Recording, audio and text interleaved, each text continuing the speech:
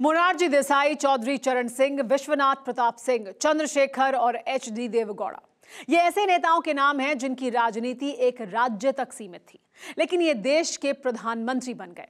इसी तरह, जब साल 2008 में न्यूक्लियर डील के मुद्दे पर लेफ़्ट दलों ने यूपीए से समर्थन वापस ले लिया था और सरकार गिरने के कगार पर आ गई थी, तब एक सूबे में सियासत करने वाली समाजवादी पार्टी की मदद से सरकार गिरने से बची थी। आखिर राज्य की राजनीति करने वालों के पास केंद्र की सरकार बचाने या बिगाड़ने की ताकत कहाँ से आती है? देखिए, टेली सीरीज़ का ये एपिसोड, छत्रप मार्वल्स ऑफ़ डेमोक्रेसी।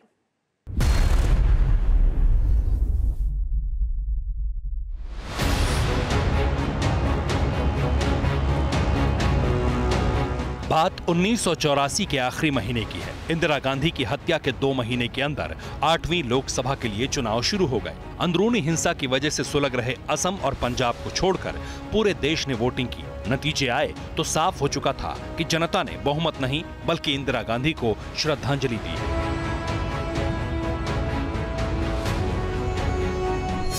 514 में से 404 सीट जीतकर कांग्रेस ने विपक्षियों की ज़मीन खींच ली।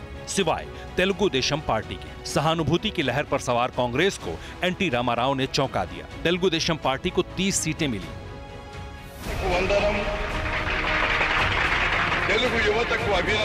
हैरानी इस बात की थी कि टीडीपी सिर्फ़ आंध्र प्रदेश की पार्टी थी। ये पहली बार था जब एक regional party national opposition party बनी। उन्नीस के चुनाव नतीजों ने ये बता दिया कि एक क्षेत्रीय पार्टी भी राष्ट्रीय स्तर पर दखल देने की कुवत रखती है। इसके बाद तो सियासत सालों तक क्षेत्रीय छत्रपों को रिझाती रही। कहने को तो छह राष्ट्रीय दल हैं भारत में, लेकिन उनका आप सचमुच ज़मीन पर उनकी ताकत देखेंगे तो पाएँगे कि वो सब बीजेपी और कांग्रेस को छोड़कर एक एक दो दो प्रदेशों में सिमटे हुए हैं।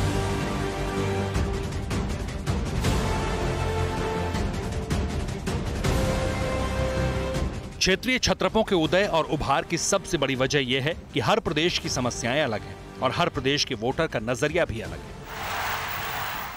राज्य किस हद तक केंद्र से विरोधाभास रखते हैं, इसकी नजीर दिखी साल उन्नीस में, जब महज 33 साल की उम्र का एक स्टूडेंट लीडर असम का चीफ मिनिस्टर बन गया।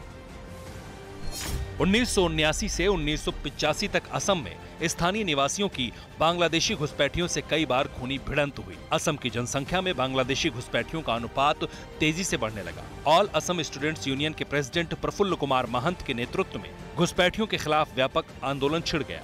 दिल्ली की सरकार पाँच साल तक आँखें मूंद कर बैठी रही। 15 अगस्त उन्नीस को केंद्र सरकार और आंदोलनकारियों के बीच असम समझौता हुआ। समझौते के तहत विधानसभा को भंग करके उन्नीस में इलेक्शन कराए गए। प्रफुल्ल कुमार महंत की पार्टी असम गण परिषद को पूर्ण बहुमत मिला। यहाँ चौंकाने वाली बात यह है कि 14 अक्टूबर उन्नीस को असम गण परिषद पार्टी बनी और 70 दिन बाद सत्ता पर काबिज हो गई। हमने इतिहास में कई बार ऐसा देखा कि कई क्षेत्रीय दलों में और प्रदेशों में सचमुच बुद्धि से, समझ से दृष्टि से विजन से राष्ट्रीय सोच रखने वाले, राष्ट्रीय फलक पर चिंतन करने वाले नेता हुए हैं।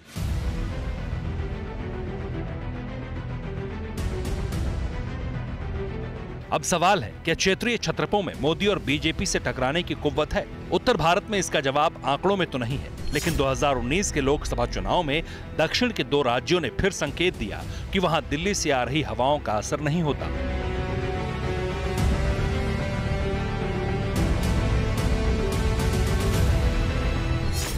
सबसे पहले बात तमिलनाडु की।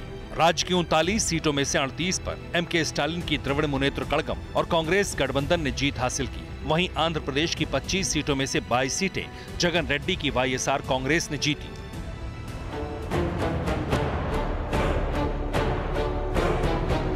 मोदी लहर में ये प्रदर्शन विपक्ष को हौसला तो देता है, लेकिन ये सच है कि दक्षिण के ही चार राज्यों में डीएमके और वाईएसआर कांग्रेस का प्रभाव सिर्फ़ एक एक राज्य में है।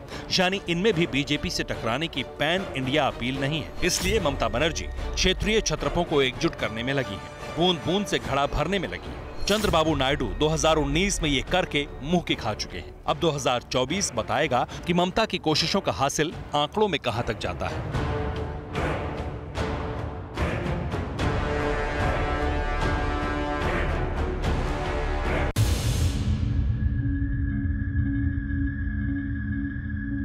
देश बनता है अपने नागरिकों से। ऐसे नागरिक जो अधिकार के साथ कर्तव्य पर भी ध्यान दें, जो सच्चाई का आदर करें, लेकिन असत्य से लड़ना भी सीखें, जो सिर्फ़ जानकार न बने, बल्कि जागरूक भी रहें। इस काम में टीवी नाइन डिजिटल है आपका मददगार, लगातार, ताकि आप भीड़ का हिस्सा न बने, बल्कि राह दिखाएँ भीड़ को। देखते रहिए टीवी नाइन डिजिटल।